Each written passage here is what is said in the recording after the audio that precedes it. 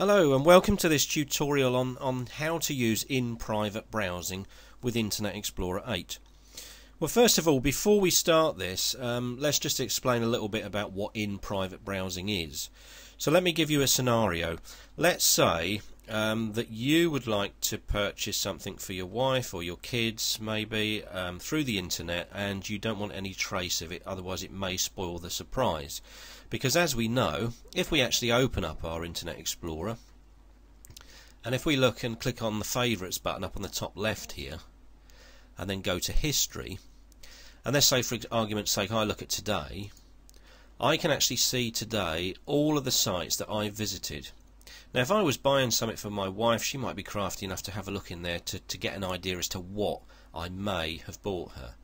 So in private browsing sort of you know safeguards you from this and you can whatever website you open you can actually uh, browse in privacy so nobody will see any record of where you've been.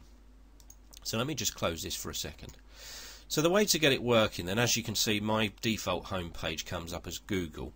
If I go over to the top right here now under the safety button click that and you'll see a drop down menu that appears. And then near enough the second one down there it says in private browsing. So if I click that and now the screen slightly changes. So if you look at the top left hand now you you can actually see that in private is turned on and you can see this in private icon at the top here so now if I surf the web for any website I want there will be no record of, of that website and or me visiting it um, be installed on my PC. So let's have a look. If I go to www. dot I want one of those.com